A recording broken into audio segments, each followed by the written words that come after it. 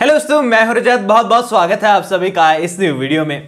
दोस्तों pressure cooker तो आपने हमेशा ही देखा होगा यूज़ भी किया होगा, रोज खाना बनता ही बनता है। लेकिन जब प्रेशर कुकर के अंदर प्रेशर जब बहुत ज़्यादा बढ़ जाता है ना तो अचानक से सीटी निकलती है और सारे घर वाले उस तरफ़ दौड़ते हैं कि यार, अब कुकर को बंद कर देते हैं। अब यही कुकर जो है अश्मिता जो है, आने वाले एपिसोड में बनने वाली है और अंदर इतना ज़्यादा प्रेशर भर चुका है और जब वो प्रेशर बाहर निकलने वाला है ना तो बड़े बड़े लोग जो हैं, भोसले परिवार के वो सोचने वाले हैं, भैया, ये क्या हो गया? और आखिरकार ये सब मतलब पॉसिबल कैसे हो गया? इतने सालों से तो इनकी जबान नहीं खुली।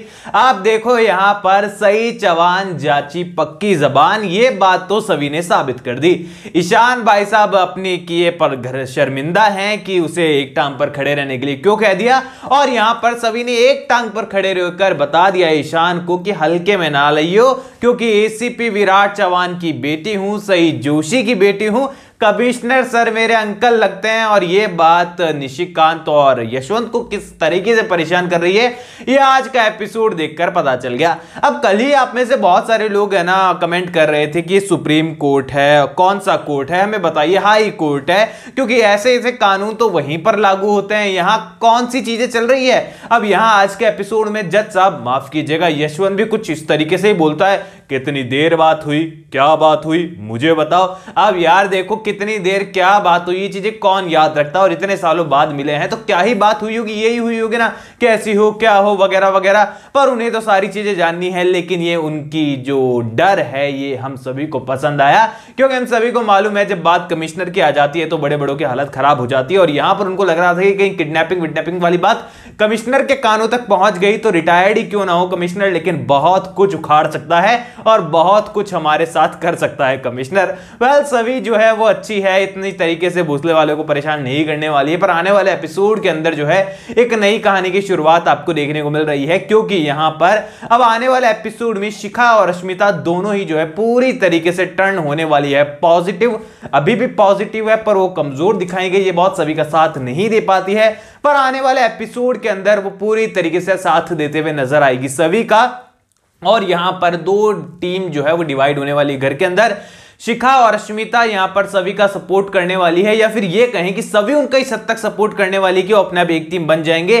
लेकिन अश्मिता की जबान भी आने वाले एपिसोड्स में जल्दी आपको खुलते हुए नज़र आएगी, क्योंकि उन्हें भी समझ में आ जाएगा कि अगर इसी तरीके से घर में सब कुछ चलता रहा तो हमेशा ये अत्याचार सहन करना ही पड़ेगा और आखिरकार अक्का साहेब के हुक्म के नीचे दबकर रहना ही पड़ेगा। अब यहाँ पर यशवंत तो यशवंत वो अक्का साहेब का पति है, मान सकते हैं कि वो अक्का साहेब का साथ देता है। पर निशिक कांड भी कुछ इस तरीके से उनका साथ दे रहा है कि मानो मतलब यहाँ पर वो कहीं की महारानी हो और सारे लोग उनके गुलाम हो कि उनका आदेश मानना ज़रूरी है और पत्थर की लकीर है।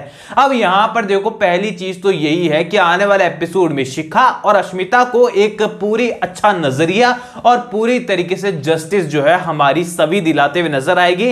यानी कि बोस्ते परिवार के लोगों ने कहा है ना कि जब तक रिसेप्शन नहीं हो जाता तब तक यहाँ पर सभी कॉलेज नहीं जाएगी, अपने पैर पर कुल्हाड़ी मारने वाला काम वो खुद कर चुके हैं, क्योंकि सभी का घर में रहना ही उनके लिए सबसे बड़ी पाबंदी बन जाएगी, क्योंकि हर एक गलत कांड में, हर एक गलत कदम में सभी उनको रोकते हुए नज़र आएगी, और गलत के खिलाफ डट कर खड़ी रहती हुई नज़र आएगी, और घर वालों को लगेगा कि ये कॉलेज में तमाशा ना कर रही है, लेकिन इसने घर में वही तमाशे करने शुरू कर दिए हैं, और जब गलत को कह देते हैं ना कि आप गलत हैं तो गलत को बहुत बुरा लगता है और वही अक्का साहेब यशवंत निशिकांत को बुरा लगने वाला है। और यहाँ पर दूरवा दो तीन दिन से नहीं है, स्क्रीन बहुत अच्छी लग रही है, वरना ऐसे लगता है कि ज़बरदस्ती एक कैरेक्टर डाल दिया है, जो कि बार बार आकर बस कीड़ा करे जा रहा है कि हाँ भाई, मैं भी हूँ विलेन हूँ और मैं सभी को परेशान करूँगी।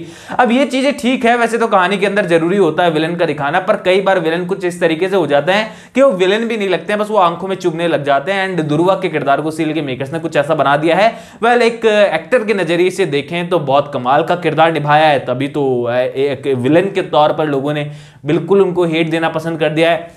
तो रियल लाइफ जो एक्ट्रेस उनका किरदार निभा रही है, उनको तो सल्यूट है, बहुत कमाल का किरदार उन्होंने अदा किया है। पर सीरियल के अंदर जो दुर्वा का किरदार है, वो लोगों को खासा पसंद नहीं आएगा और विलन भला किसी को पसंद नहीं आता यार।